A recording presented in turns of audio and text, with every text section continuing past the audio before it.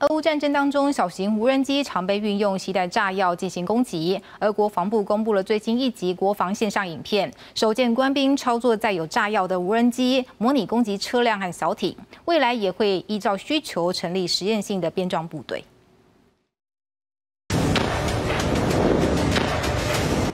这架四轴无人机上方缠绕长方形物体，机体下挂物件，升空后朝目标攻击，车辆瞬间碎裂。海上小艇也精准命中。国防部公布最新一集国防线上影片，首度曝光官兵操作携带爆裂物的无人机，模拟攻击车辆、小艇。未来将寻求与国内无人机产业链合作，建构可视国防工业，同步也会依需求成立实验性编装部队。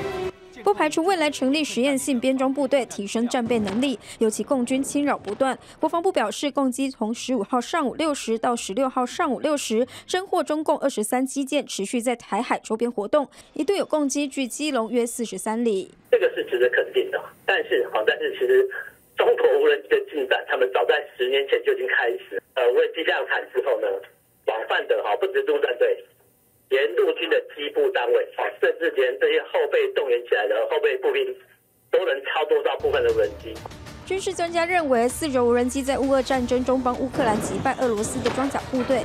无人机、无人艇都会是未来建军趋势，不止用在不对称战力建构，也是各国要面临的作战形态。由于中国早已广泛将无人机运用在战术上，建议国军训练人员可从海军陆战队扩及陆军机部单位或后备步兵。四 K 加三一零台东大桥南端引道，提升战力也要强化国内战时救灾量能。公路局台东公务段十六号下午模拟台东大桥引道被炸弹炸破，得及时抢修。